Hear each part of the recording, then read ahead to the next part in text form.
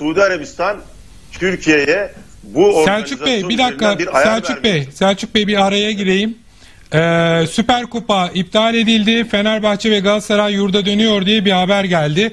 TRT Spor da geçmiş bunu. Galatasaraylı futbolculara maçın oynanmayacağı tebliğ edildi diyor. Bunu son dakika haberi Ben, olarak verelim. ben tebrik mümkünse. ediyorum. Ben ay- Sayın Fenerbahçe Kulübü Başkanı Ali Koçu ve Galatasaray Kulübü Başkanı Dursun Özbey tebrik ediyorum. Orada hazırlanan o kumpasa alet olmadıkları için, e, Atatürk'ümüze sahip çıktıkları için, e, Cumhuriyet'in 100. yılına sahip çıktıkları için, futbolumuza, değerlerimize sahip çıktıkları için tebrik ediyorum. Bu e, olması gereken de buydu zaten. Biz de bunu e, paylaşımlarımızı sosyal medyadan yaptık. Şu an stadyuma baktığımızda zaten tribünde 3000 kişi yok inan Demirel. Yani bir rezalet yaşanıyor. Ben e, 25 yılını Türk futbol hakemliğine vermiş, Avrupa'da maçları yönetmiş bir insan olarak hiç böyle bir şey görmedim. Beceriksizler, beceriksiz Türkiye Futbol Federasyonu Başkanı derhal istifa etmeli. Derhal. Anlatabiliyor muyum? Yani onu orada tutan zihniyeti de eleştiriyorum.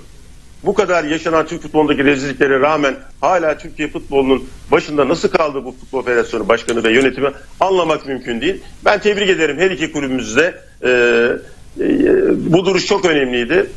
Ee, umarım birazdan herhalde bir açıklamada basına yapacaklardır. Onu da beklemek lazım. inanıyorum. Peki e, az önce işte daha önce e, İnanç Uysal söyledi Süper Kupa maçı e, Almanya'da başka neresi demiş? Katar'da Katar'da oynandı oynanmış kez de. oynandı falan. E, ya bu bağlamda baktığımız zaman hani Cumhuriyet'in 100. yıl olması münasebetiyle Suudi Arabistan'ın seçilmesi mi yanlış olan yoksa Almanya'da Katar'da olsa fark etmez bu maçı oralarda oynatmakta e, garabet mi dersiniz? İnan Demirel ben bu Süper Kupa finalini Almanya'da daha önce yönettim. Yani e, bu gibi organizasyonlar e, e, hani e, Türk futbolunun işte bir maddi imkan elde etmek adına işte e, e, bu anlamda e, Avrupa'nın çeşitli e, ülkelerinde oynandı. Yani Suudi Arabistan'da da oynanabilir. Ama Cumhuriyet'in 100. yılında Suudi Arabistan tercih edilmiş olması anlatabiliyor muyum? Büyük bir mesaj içeriyor. Yani bu işin altında bunların olabileceğini nasıl öngöremiyor Türk, Türk futbolu yönetenler?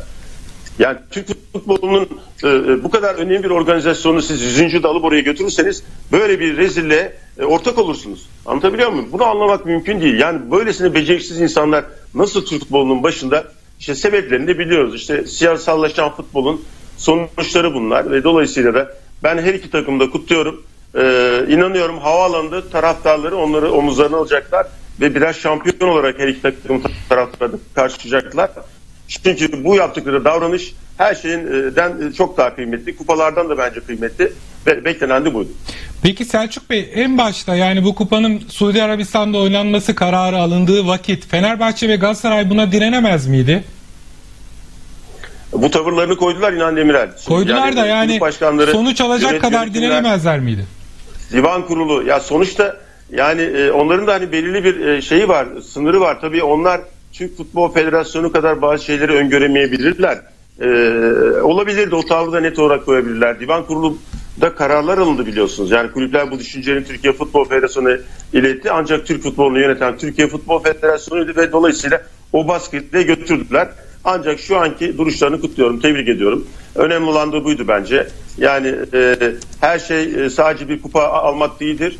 E, önemli olan e, yanlışın, hatanın yapıldığı yerdeki duruştur. O yüzden tebrik ediyorum. Ve Türk futbolunda da dünya futbolunda böyle bir şey yaşandı mı daha önce? Ben hatırlamıyorum İnan Demirel. Ee, çok ilginç şeyler yaşanıyor. Yani e, çok net bir kez daha tekrarlamak istiyorum üzerine bastıra bastıra. Suudi Arabistan bu Süper Kupa finali üzerinden Türkiye'ye bir ayar vermeye çalışmıştır. Atatürk'ü yok saymaya çalışmışlardır. Yani çok net. Atatürk e, efendim neydi kulüplerin talebi? Yurtta sulh, cihanda sulh e, pankartıyla sahaya çıkmak. Atatürk'ün üzerinde olan e, işte fotoğrafı olan o tişörtlerle e, sahaya çıkmaktı ve ne mutlu Türk'üm diyene e, pankartıyla sahaya çıkmak istediler ve bunları engellediler. Dolayısıyla başka ne olabilir ki? Yani bunun üzerinden bir mesaj vermeye çalıştılar ama kulüplerimiz de e, buna direnç gösterdi. E, tebrik ediyorum. Peki var mı sorumuz Selçuk Bey'e? Maç ne olacak şimdi Selçuk Bey? İptal edildi. Türkiye'de E, maç tabii e, mutlaka oynanacaktır ancak Türkiye'de ben tekrar söylüyorum e, biraz önce tam yayında bağlanıp sırada Sedat Bozkurt da sanırım onu söylüyordu. Tam yarısını yakaladım ama E, yani bu e, maçın oynanacağı çok güzel statlarımız, şehirlerimiz, çok anlamlı e, kentlerimiz var. Dolayısıyla e, oralarda e, mutlaka oynatılacaktır. E, Süper Kupa finali e, oynanır. İlla Suudi Arabistan'da oynanmadı diye iptal olacak. Hiç bu final hiç olmayacak gibi düşünülmesin. Peki. Tabii var mı gelin- gelinen nokta Selçuk itibariyle tabii Selçuk Hoca e, taraftar psikolojisini daha iyi biliyordur. Şimdi tahmin ediyorum tabii ki ya Galatasaray ile Fenerbahçe'nin bundan sonra yapacağı bu kupa finali için yapacağı maçta e, tribünler e, Galatasaray ve Fenerbahçe taraftarı bir arada bu maçı izleyebilirler. Hmm. Ve Güzel galip geleni mi? galip Güzel geleni de güzel bir hayır doğacak. bir şey tabii Çok yani, doğru. Yani öyle bir e, hayırlı işe hizmet etmiş olabilir. Evet. Değil mi Çok hocam? doğru e, Sedat Bozkurt. Evet yani bu e, Suudi Arabistan'ın bu tavrı, Türkiye Futbol Federasyonu bu beceriksizliği bence e, ülkeyi de bir e, bütün takım taraftarlarını da tek yumruk haline getirdi. Galatasaray Fenerbahçe taraftarlarını da tek yumruk haline getirdi. Öyle de olsa çok da güzel olur, çok anlamlı olur. Umarım bunu başarırlar Sedat Bozkurt. Evet. Peki Selçuk Bey çok teşekkürler. Ben Sağ olun. teşekkür ederim. İyi yayınlar diliyorum. Sağ olun. Şimdi e, Onur Tuğrul Riyad'daki gazetecilerden biri.